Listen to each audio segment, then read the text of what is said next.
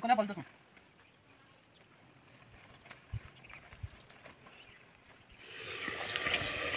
तो अब मैं डाल रहा हूँ इसके अंदर ये लोटा। ये देख सकते हो आप। ये लोटा आ गया इसके बीच में। अब दाल को welcome to my new blog आप सब लोग ठीक होंगे दोस्तों? मैं भी एकदम मस्त। मैं पवन जोशी, गंगुली हाट दुगई आगर से। तो दोस्तों, आज मैं ब्लॉग की शुरुआत अभी सुबह के टाइम से कर रहा हूँ और अपने ही घर से कर रहा हूँ। और आज के मौसम की बात की जाए ना दोस्तों, मौसम तो एकदम कड़क मौसम है। तो सबसे पहले आज आपको मौसम के दर्शन करा। देख सकते हो आप, एकदम मस्त मौसम है और चारों तरफ़ कोहरा छाया है और हरे भरे पेड़ दिख रहे हैं, क्योंकि अब हरे भरे भी होंगे, पेड़ काले पीले थोड़े होंगे।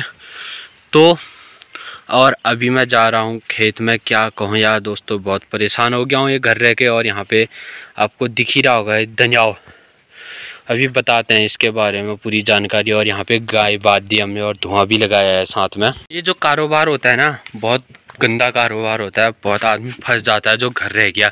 ये स्ट्रॉबेरी के पेड़ है, ढके हैं, क्योंकि बंदर स्ट्रॉबेरी खा दे रही है करके ना। तो अभी मैं जा रहा हूँ अब खेत में और मेरे साथ है दनियाओ। यो गुरु पुछड़नी बड़ी जाली ले हो ये मम्मी की पास ऐसी अकल है, धुआँ लगा रखा है, कहीं आग लगेगी तो उसमें गाय की पूंछ जलेगी।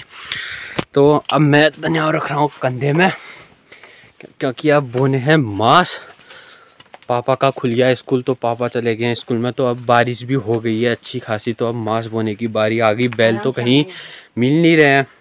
तो क्या बोलते हैं, अब खुद ही मांस बोने पड़े हैं, अब खुद को बैल बनना पड़ेगा यार। क्या करूँ? बहुत मजबूरी हो गई मिल घर रह के। थोड़ा सा सपोर्ट कर दो आप लोग, बस बहुत काफ़ी है मिल ये कुछ करना नहीं पड़ेगा, ना मेरे को बैल बनना पड़ेगा, ना कुछ बनना पड़ेगा। तो अभी हम जा रहे हैं अब खेत में। दोस्तों, अभी मैं पहुँच गया हूँ इस खेत में और अभी पहला दनियाव है अमा का। अमा का दाना है पहला दनियाव और इसमें बो रहे हैं शायद अमा मांस। तो और हमारा खेत तो ऊपर है मैं आज डालूँगा अभी नी भी अपने खेत में। अम्मा बोल रहे थे पहले मेरे साथ लग दे। तो अब क्या करें यार आज का दिन का बैल ही काफ़ी घास घास तो खा के आ गया हूँ मैं। पानी नहीं पी रखा है मैंने घास वगैरह सब खा के आ गया हूँ। घास भी ननू नान खीतो यार तने दुयर और घा खीतो में ही बस है।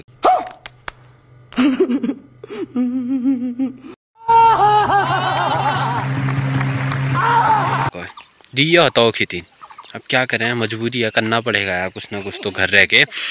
तो अब सबसे पहले डालते हैं इसमें धनिया, उसके बाद आगे की कार्रवाई फिर की जाएगी। तो कहीं बैल नहीं मिल रहे हैं बैलों का बड़ा दुख हो गया तो इस कारण अब खुद ही धनिया डालना पड़ा है। क्या करें, मजबूरी होगी ना, क्योंकि फिर अगर धनिया नहीं डाला तो टाइम से खेत ऐसे बाजी रह जाएँगे मतलब बाँच पड़ जाएँगे खेत।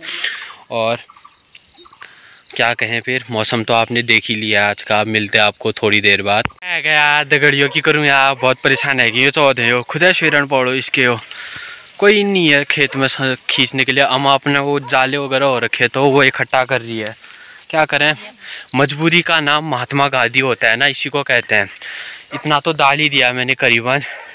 बहुत लंबा बड़ा चौड़ा खेत है परेशान है, क्या करें? ज़िंदगी तो साला झंड हो गई है।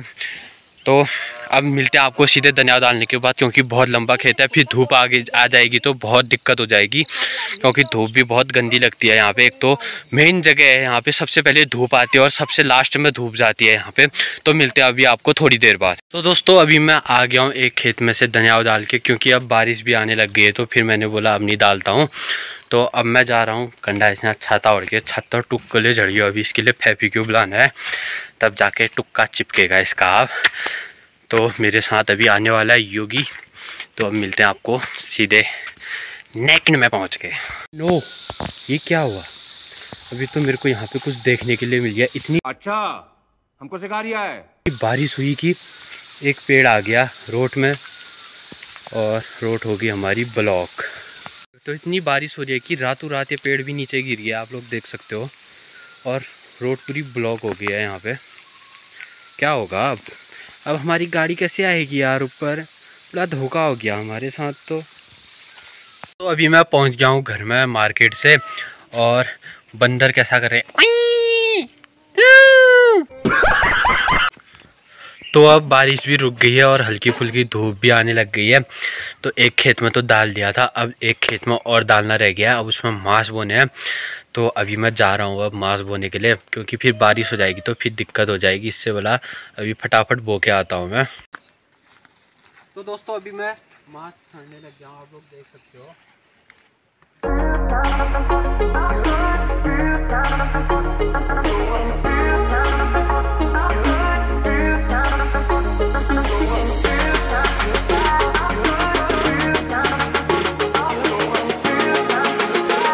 दोस्तों, अब मैं धनिया ले जाने लग गया, आप लोग देख सकते हो।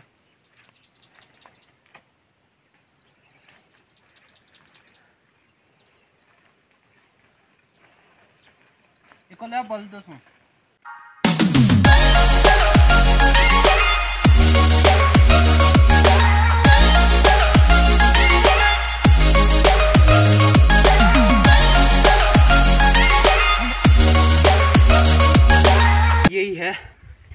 अकेले में दना डालने का फ़ायदा। अब क्योंकि पेड़ की टहनी भी हिल ली है, हवा चल रही है तो कहीं फ़ोन गिरेगा तो अब मिलते हैं अभी आपको आधा खेत बो के। तो दोस्तों, आप लोग देख सकते हो, अभी मैंने पूरे खेत में डाल लिया है धनिया, और अब जाता हूँ घर को, और आज तो मम्मी का भी व्रत है। मम्मी का व्रत पूर्णिमा का तो अब मेरे को घर जाके खुद ही खाना भी बनाना है। आज हमारे गाँव की जितनी महिलाएँ हैं, सब खेत में हैं। क्योंकि कल आज सुबह तक लगातार बारिश थी तो अब मुडू और माधुर सारते हैं ना दूर दूर बोते हैं बोते हैं, जैसे रुपाई होती है, वैसे ही एक तरफ़ से वही समझो। तो अभी सब लोग खेत में है तो अब क्या है, आप अन्याप करते हैं काम तो अभी मेरा ये काम भी हो गया है पूरा, मांस भी बो गए। तो अब जाता हूँ घर, उसके बाद बनाता हूँ खाना। अब शॉर्ट स्कीम करनी पड़ेगी, दाल और चावल एक ही में बनाना पड़ेगा। आप लोगों को भी दिखाया जाएगा कैसे बनाते हो। जो लोग भी अकेले रहते हैं ना, उसके लिए बहुत बढ़िया स्कीम है दाल चावल बनाने की।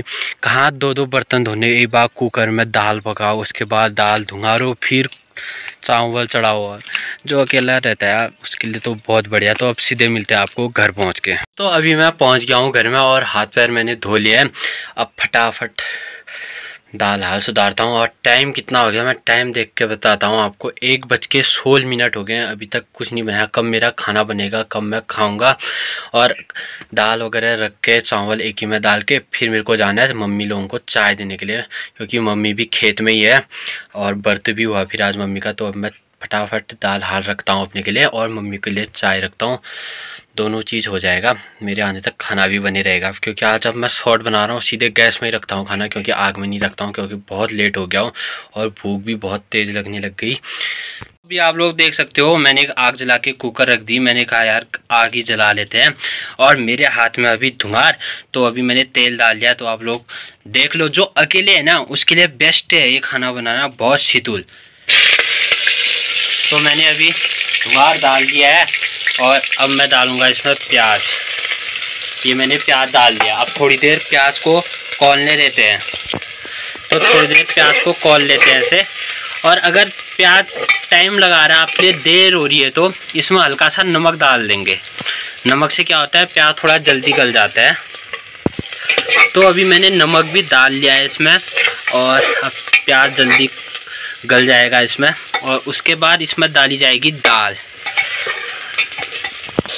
तो आप लोग देख सकते हो, अभी मैंने इसमें दाल भी डाल रखी है। मैंने दाल बना रखी है, मांस की दले हुए मांस और अरहर और दला चना। तो अब हम इसमें अपने हिसाब से हल्दी और मिर्च डाल लेंगे। नमक तो मैंने डाल लिया है। तो दोस्तों, इस लोटे में है चावल मेरे, आप लोग देख सकते हो ये लोटा है। और अपने हिसाब से पानी लगाना हुआ, जितना चावल रखना है उसी हिसाब का पानी लगाना हुआ। तो अब मैं इसको डालूँगा कुकर के अंदर, आप लोग भी देखे रहना कैसे। मैंने बताया दिया, जो अकेले रहता है ना, उसके लिए सबसे बेस्ट है ऐसा खाना बनाना। क्योंकि बर्तन का बर्तन बच जाता है, धोना कहाँ एक बार कुकर से कुकर में दाल पकाओ, उसके बाद धुआरो दाल को दूसरी कढ़ाई में रख के, उसके बाद फिर कुकर में और चावल चढ़ाओ। इससे बढ़िया अकेले वाले के लिए बेस्ट खाना यही है। मैं कहीं चाहूँगा ना और अकेले रह गया, मैं तो ऐसा ही करूँगा।